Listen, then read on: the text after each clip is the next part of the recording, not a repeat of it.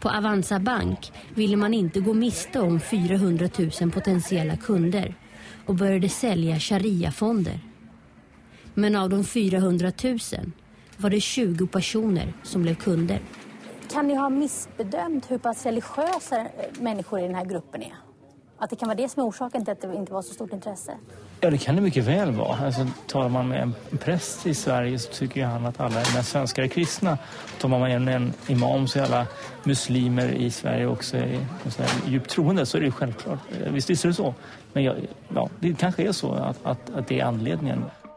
Slöjan är långt ifrån ett okontroversiellt plagg.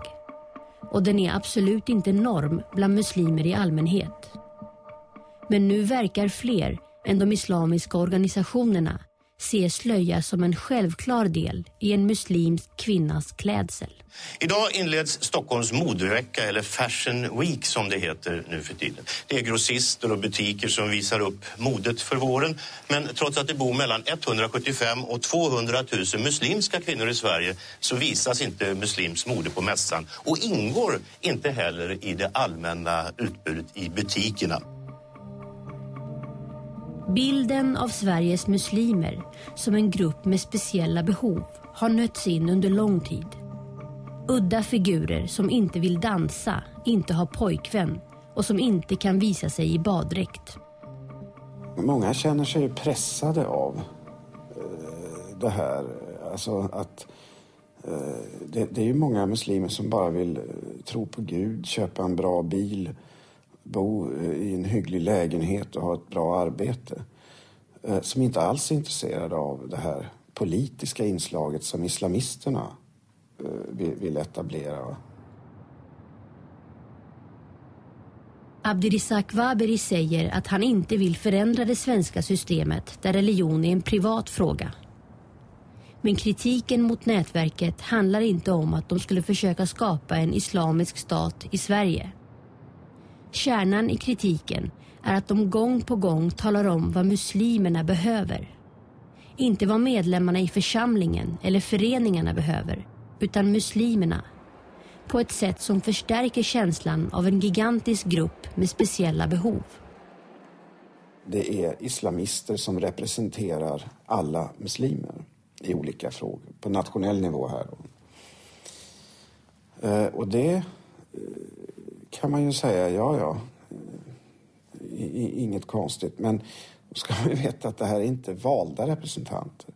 Jag skulle tro att många eh, muslimer än knappt vet vilka som representerar dem på nationell nivå. Eh, och det är ett, ett politiskt särintresse som har getts rollen av att representera alla muslimer. Vi representerar muslimerna i Sverige och vi anser dem till, till antal 400 till 500 000 personer. Vi representerar dem genom att för, försöka att upprätthålla deras rättigheter att vara delaktiga i samhället. Och eh, det finns ju väldigt eh, många som är praktiserande, men det finns de som är halvpraktiserande och det finns de som är mindre praktiserande.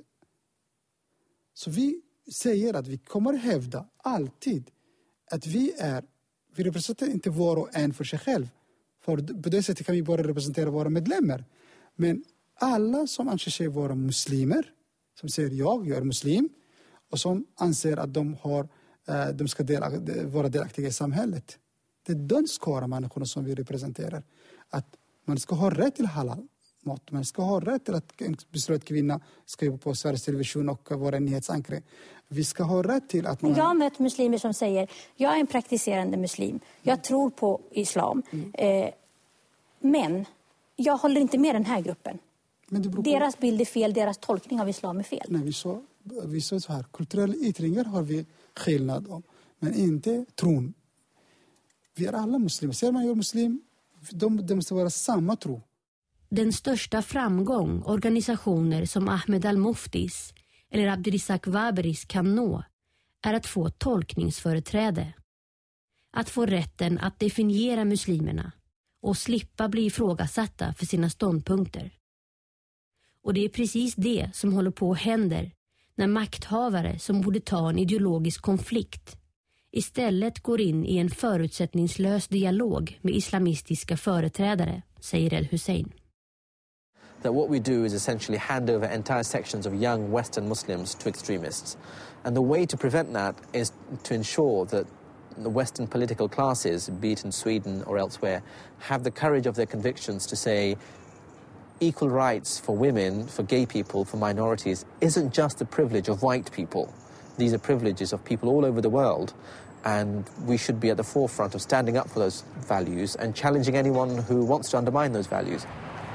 Och för avhopparna var det just närvaron av motargumenten som blev början på vägen ut ur islamismen. När Mohammed började på universitetet fick han allt svårare att upprätthålla sin svartvita bild av omvärlden. På universitetet där fick jag äntligen möjlighet för att igen självständigt reflektera, genvinna min egen självständighet och började också långsamt att sätta tvivl vid de ting, der var i Hisbutria på min helt egen måde. Helt subtilt. Det var ikke noget, jeg viste over for medlemmer i Hisbutria. Men på et tidspunkt så byggede det sig op. Og så kunne jeg ikke længere leve med at være to ansigter. Islamist i min fritid og akademisk studerende, øh, når jeg var på universitetet. Det var ju liksom en, en konflikt som började i mig. Eh, och också det här med att försvara då vissa hållningar, till exempel med synen på homosexualitet. Kan man försvara den hållningen? Liksom, det, det gick inte ihop. Eh, så att jag tror att, att jag började läsa på universitetet, eh, började träffa många andra. För att också det här med att upprätthålla en tro är ju det vi pratade om innan, att det är väldigt viktigt att man bara umgås med dem som tycker som en själv för att inte man ska ifrågasätta tron. Då, va? Det är ju en del av strategin att när man möts av obehagliga frågor så blir det väldigt jobbigt. Så därför är det viktigt då att hålla sig inom sin grupp. Det fall denne ideologien eller ideen om at islam var bare én eh, at det var bare én sanning. For plutselig så oppdaga jeg at ja, men det var jo veldig mange ulike sanninger. Og, så, og jo mer kunnskap du fikk, jo mer eh, kunne du se.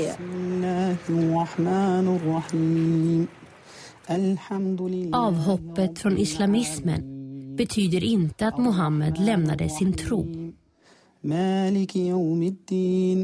إياك نعبد وإياك نستعين.